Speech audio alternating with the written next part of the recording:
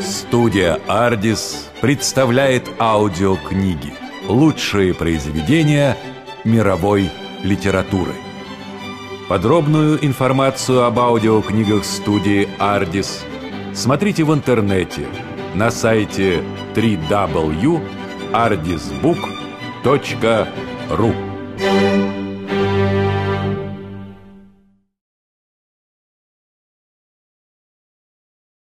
Николай Николаевич Врангель. Помещичья Россия. Белые дома с колоннами в тенистой чаще деревьев, сонные, пахнущие тиной пруды с белыми силуэтами лебедей, бороздящих летнюю воду, старые нянюшки, снимающие пенки с варенья, жирные, обжорливые моськи, ворчащие от сахара и злости — девки-арабки, отгоняющие мух от спящей барыни. Митька-казачок, таскающий длинные чубуки для раскуривания гостям. Мухи, летающие, жужжащие, назойливые, кусающиеся, скучные, противные мухи. Мухи, засиживающие окна и стены, и книги, и все.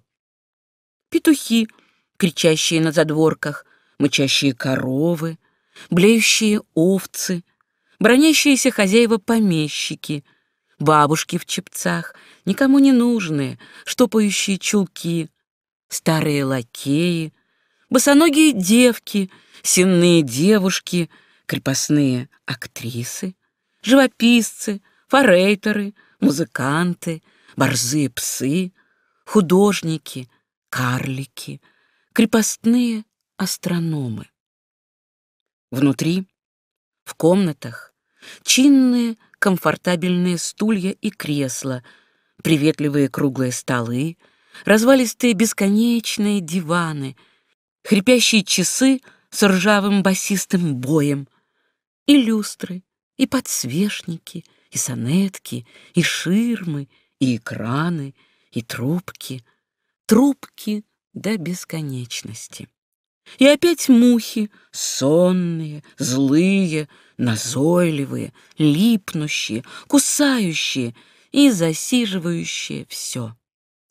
Вот она, крепостная Россия прошлого, от которой остались только мухи и домашняя скотинка, старые нянюшки, хозяйская воркотня и быль и небылица о крепостной жизни — о роскоши, о красоте быта, о чудачестве дедушек и бабушек.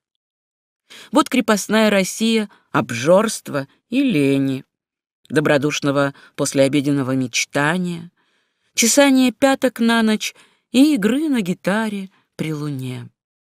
Вот страна Евгения Онегина, потом мертвых душ, потом детство и отрочество, потом оскудение Сергия Оттавы.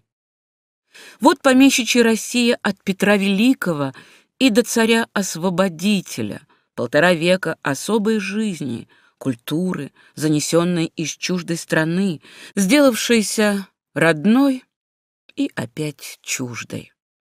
Старая повесть о самодурах-помещиках, засекающих крестьян, о тех же помещиках, часы досуга занимающихся меценатством так же охотно, как ловлей зайцев и лисиц, как заказом вкусного обеда или поркой провинившихся девок. Странное дело, но в этой повести о прошлом какая-то особенная, может быть, только нам одним русским понятная, своеобразная прелесть. Прелесть грубого лубка, чудо простонародной русской речи — сказка песен, пропетых в селе, ухорство русской пляски — все на фоне античных храмов с колоннами, увенчанными капителями ионического, дорического или коринфского ордеров. Пляска русских босоногих малашек и дуник в храме любви. Маскарад деревенских парней в костюмах богов и богинь древности. Или где-нибудь в Саратовской или Симбирской губернии девки-арабки с восточными опахалами на фоне снежных сугробов. Что может быть нелепее и забавнее, печальнее и умнее? Русское самодурство — главный двигатель нашей культуры и главный тормоз ее — выразилось как нельзя ярче в быте помещичьей России. Безудержная фантазия доморощенных меценатов создала часто смешные, чудаческие затеи, часто курьезные пародии, но иногда и очаровательные, самобытные и тем более неожиданные волшебства. Вся эта культура, весь этот быт, все это прошлое, столь близкое по времени, теперь с каждым годом кажется, будто удаляется на несколько столетий, и как чужда, непонятна и далека казалась людям Екатерининского века быль их предков времен Алексея Михайловича. Так навсегда безвозвратно ушел быт крепостной России, жившей полтора столетия. И потому, быть может, нежно ласкает и манит нас старая повесть о дедушках и бабушках, об арапах и крепостных, о мебели красного дерева и о домах с колоннами на берегу сонных прудов. В России никогда не было своей последовательной, наследственной культуры. Все созданное варягами, пришедшими княжить в Россию, было уничтожено татарским игом. Потом опять новая смешанная культура Востока и Запада, пышно расцветшая в царствовании первых Романовых, была вырвана с корнем тем, кого потомство окрестило именем великого преобразователя России. И через полтора столетия помещичья крепостная культура, давшая столько нежных и красивых цветков искусства, сменилась опять новой, совсем другой жизнью, которая до сих пор еще не улеглась в определенное русло. Естественно, что и искусство, не имевшее предков, развивалось в России так же случайно, неожиданно и капризно. Но крепостной период в истории нашей живописи и главным образом архитектуры и прикладного искусства дал много весьма занимательного, характерного, а иногда даже и подлинно красивого. Конечно, не в смысле гранд-арт, высокое искусство, французский, но все же интимного, так ярко и цветисто рисующего дух и вкусы своего времени. А эта картина быта уже свидетельствует о том, как живо и жизненно запечатлевали художники в своих созданиях свои робкие мечты в этой массе среднего уровня, в бесконечном количестве любопытных и дорогих нам, но все же заурядных в смысле художественном, помещичьих усадьбах, встречаются иногда и создания высокого мастерства. Понятно, это редкость. Только крупные помещики времени Екатерины, а главным образом ее фавориты, могли создать волшебные сказки из своих имений, не только уступающих, но даже превосходящих грандиозными затеями то, что было сделано в эту же эпоху на Западе. Русские люди всегда были самодурами, а в искусстве самодурство не раз помогало им. Но по странной насмешке судьбы, созданная столь быстро, распалась еще быстрее.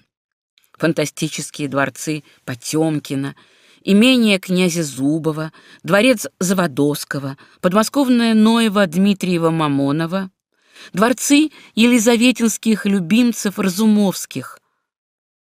Все погибло. Разорены и обветшали торжественные дома с античными портиками — рухнули храмы в садах, а сами вишневые сады повырублены.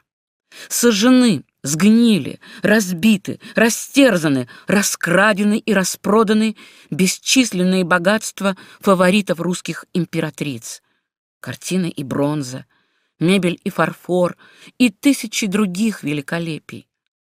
По странной игре судьбы любимцы государынь не оставили мужского потомства, дошедшего до нас. Вспомните Шувалова, Румянцева, Разумовских, Потемкина, Зорича, князя Зубова, Александра Ланского, Мамонова, Заводовского. А для них строили дворцы Ринальди и Деламот, Минелас и Кваренги. Им дарились лучшие портреты государынь, присылались лучшие художники и служили сотни тысяч крепостных. Даже в фаворитизме у нас не сохранилось традиций. Но ни одна судьба зло подшучивала над Россией. Русские люди делали все возможное, чтобы исковеркать, уничтожить и затереть следы старой культуры.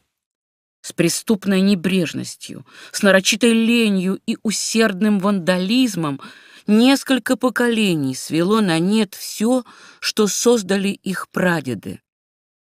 Ведь культурным было русское дворянство от Екатерины Великой и до освобождения крестьян, берегло и любило красоту жизни.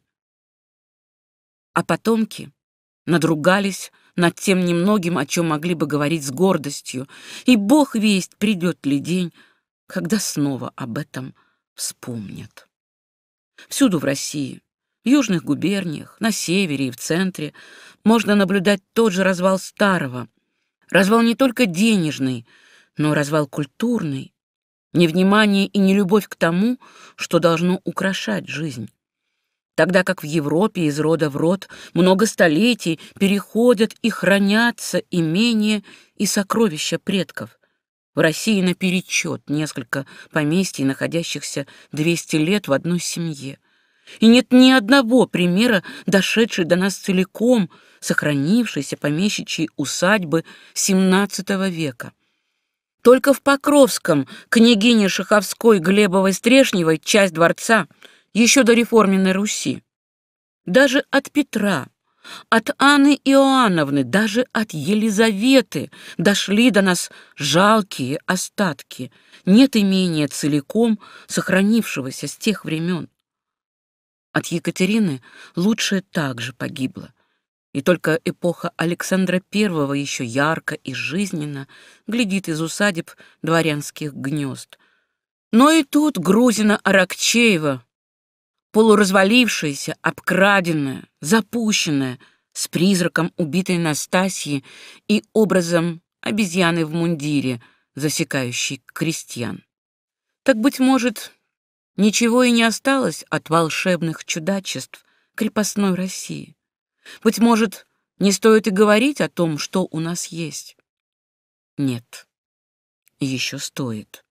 Еще можно спасти дорогие остатки старины, сохранить и уберечь от окончательной гибели красивые воспоминания, плесневеющие в грязных деревнях, в провинциальной глуши отдаленных губерний — еще стоит подумать, прежде чем рушить дома, прежде чем продавать скупщикам картины и предметы убранства.